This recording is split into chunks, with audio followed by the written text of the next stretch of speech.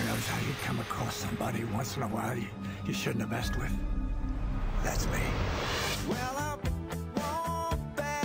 I am not an African American. You're Oreo cookie, white in the inside and black on the outside. I don't have an afro. I have an Amerifro. Talking that idiotic stuff you talk about, I will slap you. Go ahead. Make my day. Black as the ace of spades, but 100, 100% American. Heard around the world by everybody and their mama. The Jesse Lee Peterson Radio Show. Uniting the races with truth instead of dividing them with lies. We're also rebuilding the family by rebuilding the man. I am Jesse Lee Peterson. I have with me, with me a very, very interesting young man. It's nice to see young men being interesting and, and, of- and of great courage because that's what we need. Sherif uh, Gergis, Sherif Gergis is a PhD student in philosophy at Princeton University and a JD candidate uh, at Yale Law School.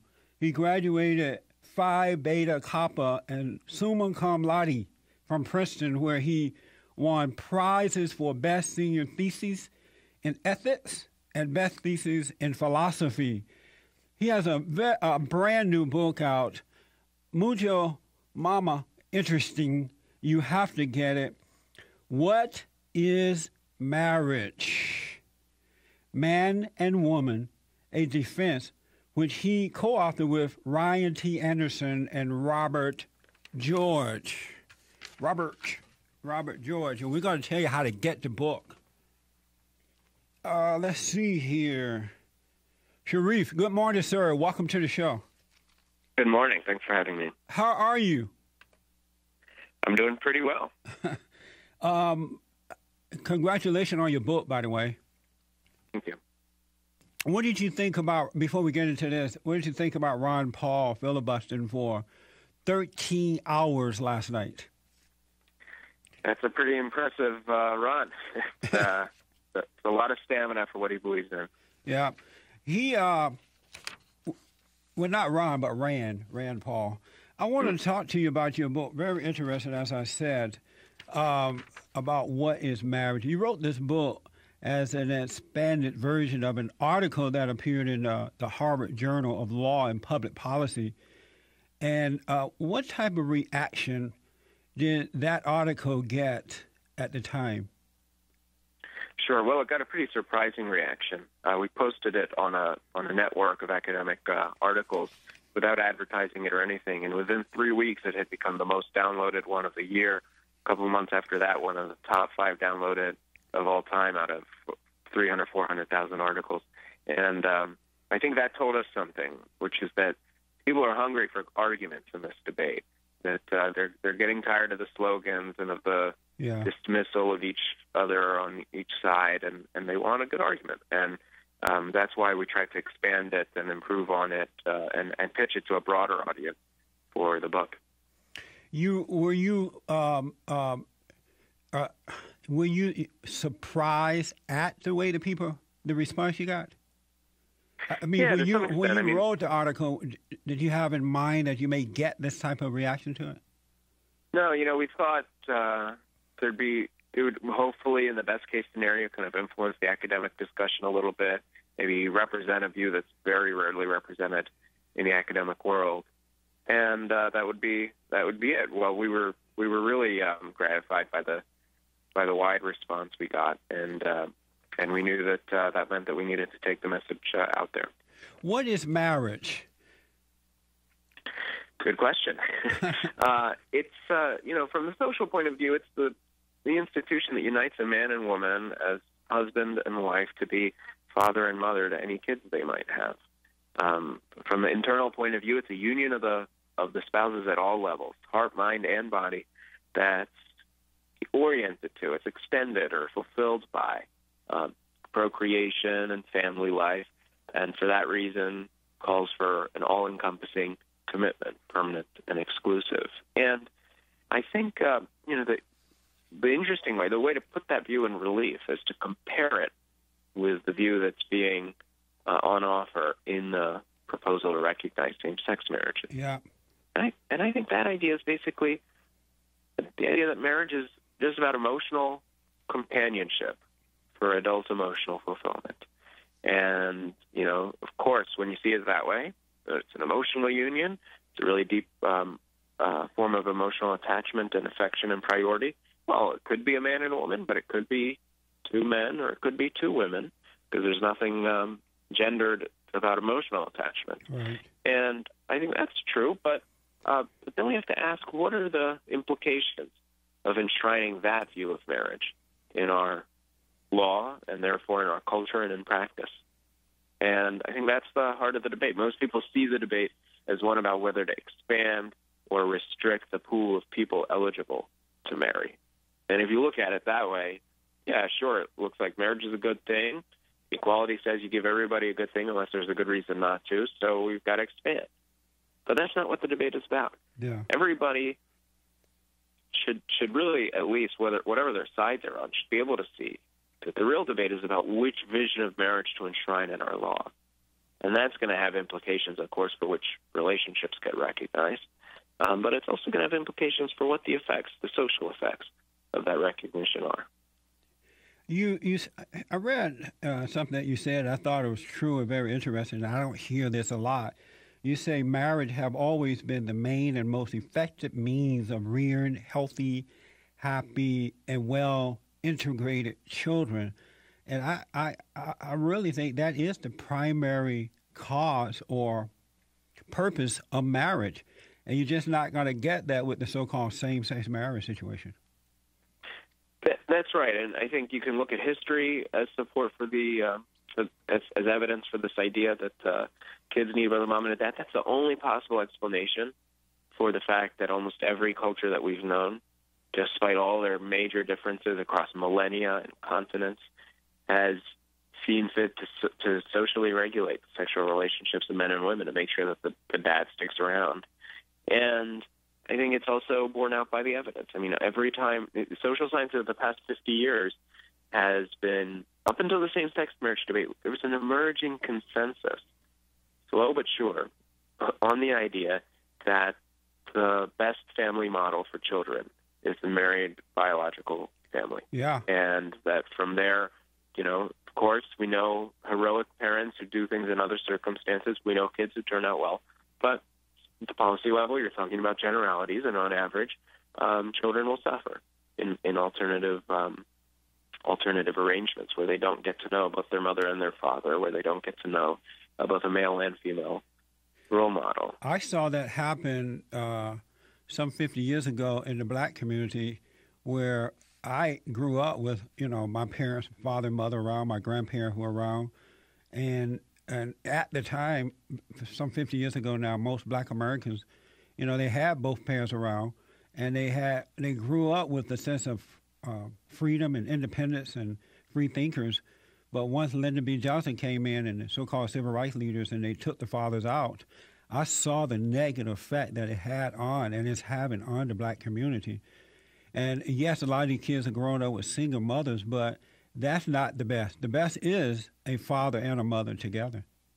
That's right, and that's actually what got most of the traditional marriage leaders in this debate to begin with. Um, you know, I'm I'm too young to have been there for this problem, but uh, for example, my co-author Robby George, professor at Princeton, he got into the marriage debate before anybody was talking about same sex anything. When he saw in his native Appalachia, in West Virginia, the effects of the welfare state, of bad cultural mores, of bad social norms on kids and on families. And he saw fatherlessness and what that was doing to his own hometown. Yeah. And um, and and it was really to be able to shore up those stabilizing norms of marriage that were interested in this debate to begin with.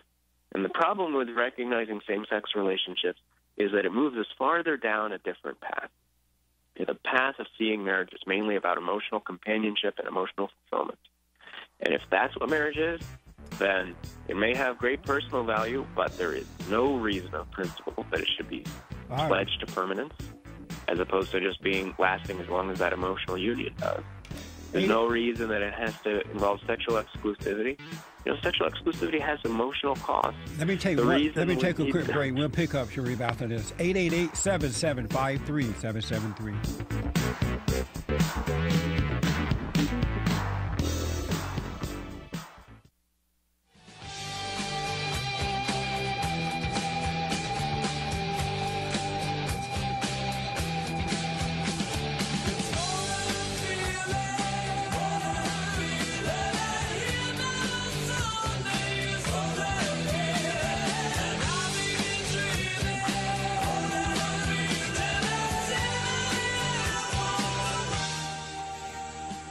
In the third hour today, we're going to be talking to Adam Lee. He's a writer, activist, and the author of the book Daylight Atheism. You do not want to miss out on that in the third hour. The second hour, top of the second hour coming up, going to be reading your emails and Facebook comments uh, and taking your phone calls at 888 7753 773 888 77 J E S S E. Talking to my guest here, very, very interesting book. One that I think everybody needs. I've never heard anyone uh, read anything where uh, an author broke down the emotional aspect of a marriage. It is really, really a good book, and I highly, highly recommend it. Sherif uh, Gergis, Gergis is my guest here. Smart man. Um, Sherif, how did you, how did you become, how did you get to be so smart? You have all kinds of degrees and prizes, and you're so young. Uh, how did you get this way? well, thanks. It's very kind. I think uh, it's uh, whatever talents we've got, we've got from the from grace of God, and then they've been cultivated by somebody. And I was blessed to have the benefits of the kind of thing I'm pushing for, which is um, my mom and my dad sticking together for life and for us, and uh, making sure that we got the best shot that we could. Well, they did an excellent job. Con- congratulations to them as well. You point out uh, that even in ancient Greece, where there was homosexual activists or activity, they never considered anything like same-sex marriage. And why do you think that is? That's right. Well, because it's not about bias. It's not about animus. It's not even about just about moral views about homosexuality. It's really about what the social purpose of marriage is. And you can have all kinds of views about homosexuality and still believe in the social purpose of marriage as binding men and women to become fathers and mothers together. Um, in your book, you um, you on page 18, I believe, you and your co-author discuss how New York Magazine did a story sympathetically outlining a romantic relationship between um, three men. Uh, my question to you: Why shouldn't this uh, relationship be recognized as a marriage by the state? Well, that's exactly the point we bring up as a challenge to proponents of same-sex marriage, and we just point out that every one of their arguments would work for this case. You know, they've got a deep emotional bond. This is where they find the most personal fulfillment, and who are you to tell them that they need to limit it to two people? They don't want to be stigmatized. They don't want the kids stigmatized. They want the economic benefits. You name it, the argument applies. And most people feel there's something different about this kind of relation. It's not actually a marriage. It might be something else. Maybe the three people find it fulfilling. Maybe they should, shouldn't, whatever. But if we leave them free to do it, that's one thing. But recognizing it as a marriage is another. And they see that marriage is a is a total union. It's a union of heart, mind, and body. It's union of that's permanent and exclusive, and it's a union that has this social value. And all of those things distinguish the three men from a man and a woman, but it also distinguishes two men or two women from a man and a woman. It's interesting. I've discussed this issue with uh, homosexual activists, and when I bring up the notion that if uh, if, if two men want to marry another man, and then three women want to marry another woman, or I want to marry my mother, do I have the same right to do that? And they don't want to even discuss those arguments at all. They say, "Oh, that that doesn't make any sense," and I'm like, Yeah. "Well, what you're doing doesn't make sense to me either." Yeah, no, it's amazing. I mean, people who are really confident about their view, who think it's just the wave of history and you're just a bigot, as soon as you press them just a little bit, they immediately they run. They'll say, "Well, that's just different," as if the traditional marriage proponent can't say, "Well, it's just different if they're same sex." Or he'll "Well, we don't want to we don't want to mess up the institution." Oh, well, you know that's what we're talking about. That's what we're asking about. So they really have no answer to this, and it doesn't change when you go to an academic context. It's exactly the same thing. In fact, if anything, they're much more willing at the academic level to just say, you know what, you're right. We should recognize multiple partner bonds, non-sexual bonds, multiple households, you name it.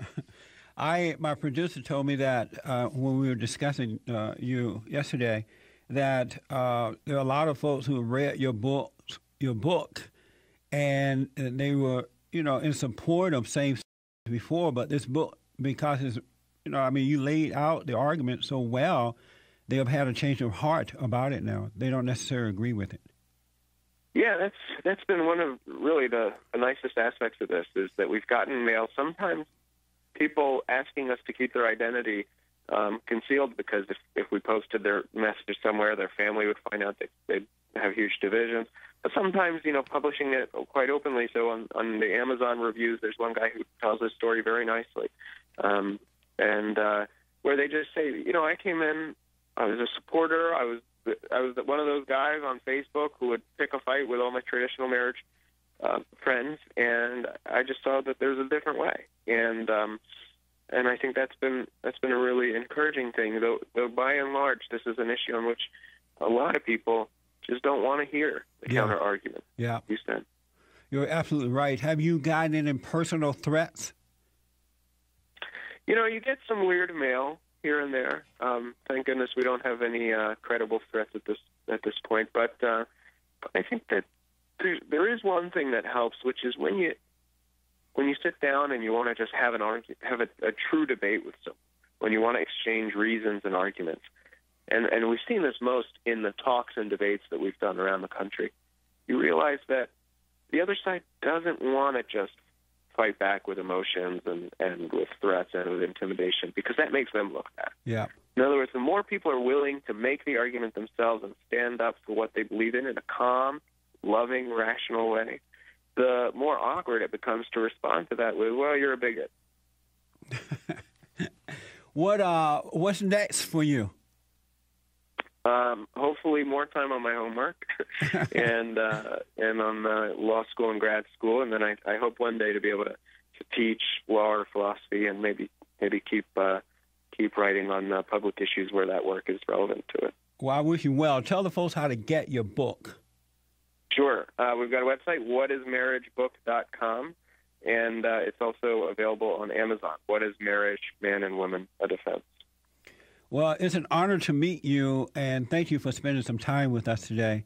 And I, Thank you. It's I- been an honor to be on. Yeah, I wish you well. You're a bright young man. Your parents have done a good job, and you're an example of what the type of good effect that you know parents can have on children, and we definitely need to return to that.